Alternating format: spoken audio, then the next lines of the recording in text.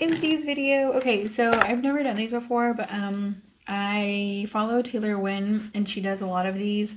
And I think also Jessica Braun does these. I'm trying to remember. I can't. I'm not entirely sure. I think she does. But anyways, um, I ran out of a few things, mostly shower things. Um, not a lot of makeup, but we'll go through the makeup, the only makeup product. I'm That's not true. Oh no. Okay, I forgot. I went through a whole thing. Okay, so let me go. Let me get into details. I went through a whole thing of Kiss Lash Glue. This is the House of Lashes. I don't have the empty because I threw it away. Okay, I just confirmed that I did in fact throw it away. So I did go through a whole thing of the Kiss Lash Glue with aloe. It's one of my favorites. I love it. I'm obsessed. Um, and I miss it. I opened the House of Lashes one and I just wanted to try something different. I've been using that Kiss Lash Glue with aloe for, I want to say like two years now. It's one of my, it's like literally my favorite. I've never needed to try a different one. But like I said, I've been trying that one for two years. I've been using that one pretty steady for two years. And I just wanted to try something different. I had heard good things about the House of Lashes a few years ago. So I, did, I had one and I just wanted to try it. Kiss Lash Glue would never do me like this, okay? Go with the Kiss one, okay? That one's so much better. Go with the Kiss. And it's only it's so much cheaper too. So much cheaper. Like why why would i do this? Why? I didn't need anything else. I had everything i needed. I had everything i needed. Why? And then the other thing i went through is the ColourPop brow boss in the shade light brown so this is the one i was using mostly when i had my ombre it's kind of my blonde hair it's kind of coming back because um, my hair dye fades. And I've tried to brighten it over the time. I've tried to brighten it a couple times too, but the hair dye fades a little bit. So I got a little bit of an ombre going. But it, my hair used to be a lot lighter. I was going through a balayage. It was pretty blonde. Um, and then I kind of got tired of it and I kind of dyed over it. But light brown was a really good shade for me because it was like like it went with that balayage blonde very well. And then when I dyed my hair back back to a dark color, I just wanted to get through this and I got through it. And it was good timing. Um, it didn't take me forever. Um, it did last a long time. I think I was using it, I don't want to say every day because I, I never use the same product every day, but I was using it pretty consistently off and on and it took me about a year so i think a normal person using this every day might take them like three to four months to use. I hope i'm hoping being accurate in that but um i was using it yeah pretty consistently off and on. And it lasted me a year during covid when i wasn't doing my makeup too often so that's kind of why i reduced it even more so i think about three to four months this pencil would last you it was really really good um, I have no complaints with the formula. I like other ones a little bit better, but um, this is still a really good comparable formula to high end. Um, the shade was really nice, cool toned, creamy formula, thin, small, tiny. Um, it did break on me a few times, but not too bad. Like this is all that I have left, and I just, it's not enough for a full brow. It can, it will not go further up. So I just decided not to use that tiny little bit. It's literally enough to maybe do like the second half of my brow. It's really not enough for me to use. It does have the spoolie on the end. I never use these spoolies. I'm not lying. I never use these spoolies. People complain that like, oh, it doesn't have a spoolie. Products don't have a spoolie.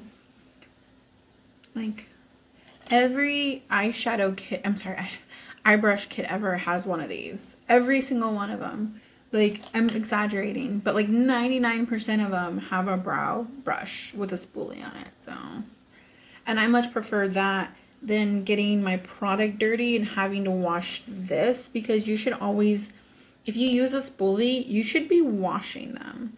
So I'd rather wash my brush than take my brow pencil and go wash it and get this like wet and maybe I didn't close it right and get, get moldy. I don't know. Something about like using this and then having to clean this out kind of grosses me out. versus a brush that there's no makeup here, like other than the buildup that you have to clean off. But like if I get this wet, I'm not creating any kind of like I'm not messing this up, you know. That makes sense because you have to also keep it upright. The water would go down. I don't know. My opinion. I do not like spoolies on my products. I don't hate them either. I don't because I don't use them. But I understand for people who do use them. But then like, how do you clean this? How do you sanitize this? How do you? How do you? How do you? Tell me. Um, you just let it get wet. You let your. I know it's closed, but is it really sealed? Is there not a hole connected? in between here getting water in there trickling down. You know, like, I don't know. I just, it's mental, but I, I just don't like using spoolies. I much rather use my eyebrow brush and clean that spoolie. And I that, that I do use and we'll never have a problem. So, um, makeup wipes. So I have been trying to get through the makeup wipes that I do own. I do have makeup erasers now as well.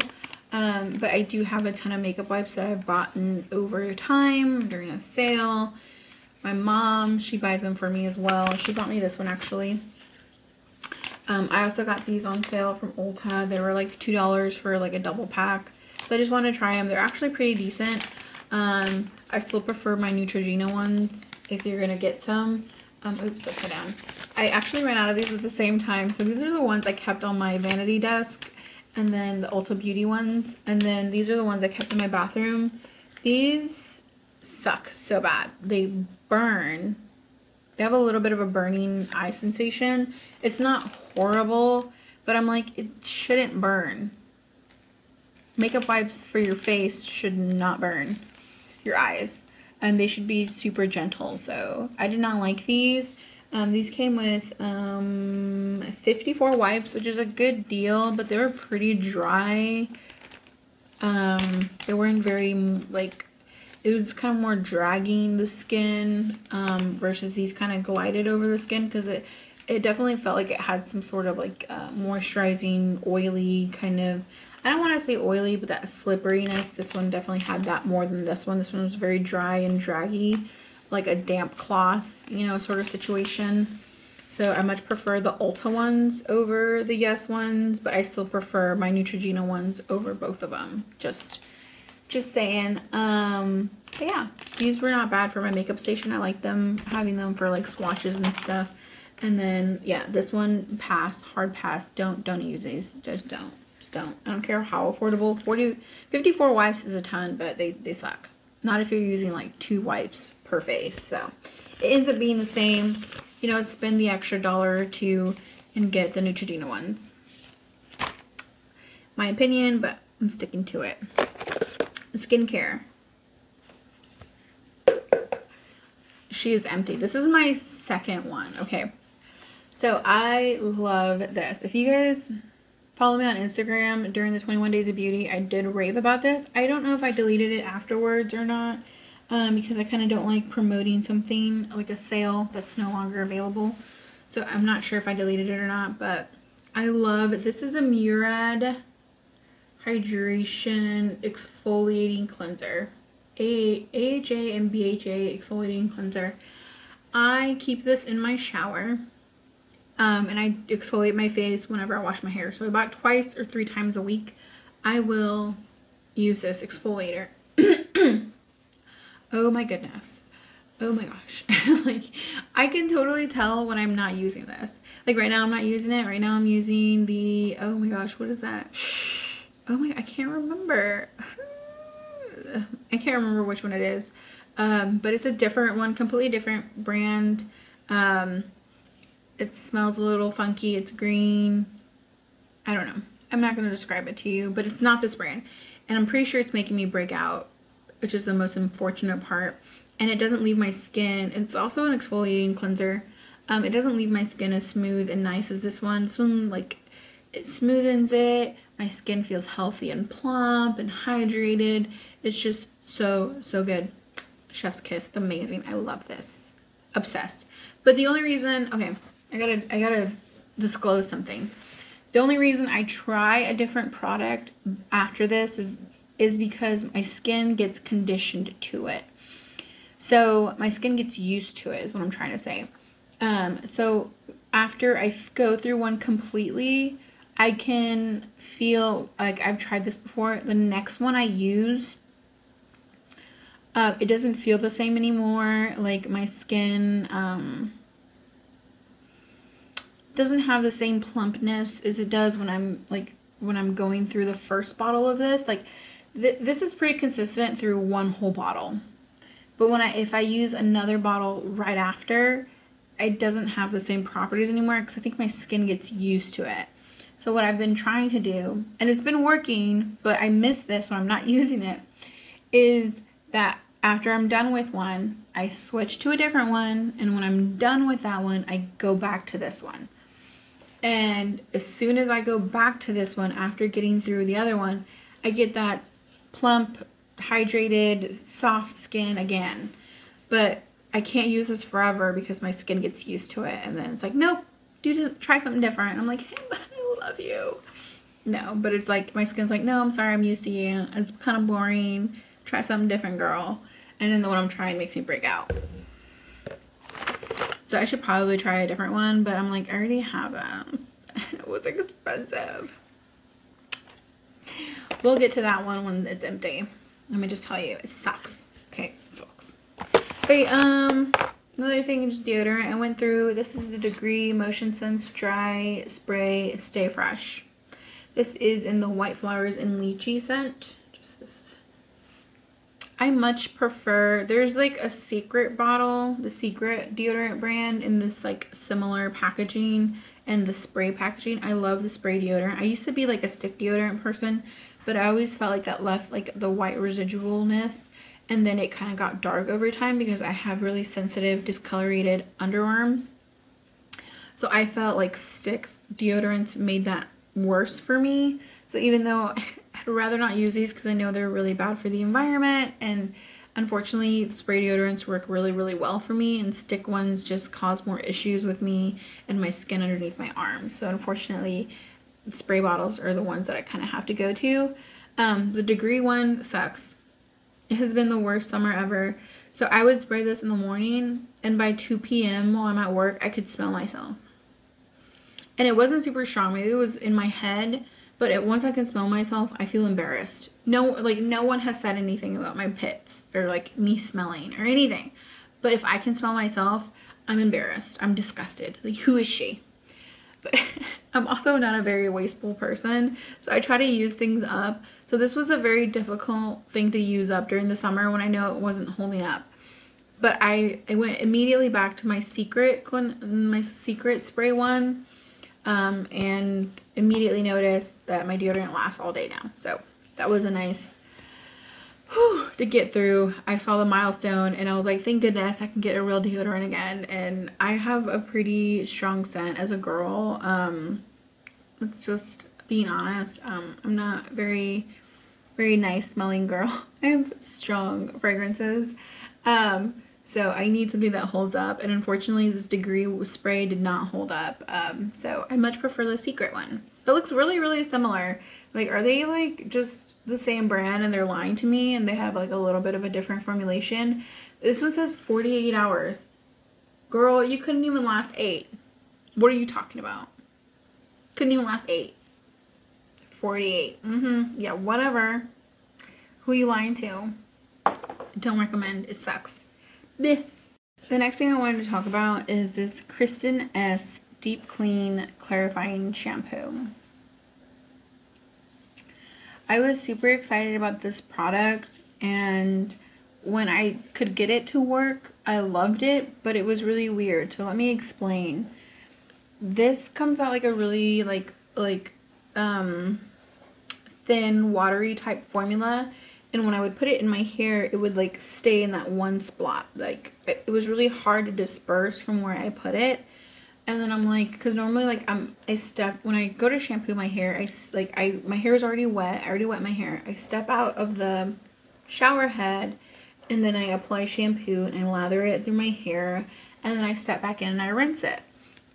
Well, when I tried to do that with this, um, and then I would step out of the water, and then I would try to put it on my scalp, it would just stay where I put it and I couldn't lather it and it wouldn't spread anywhere. It would just stay in that one little spot.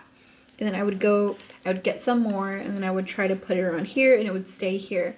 And then I would have random spots on my scalp that I did not get.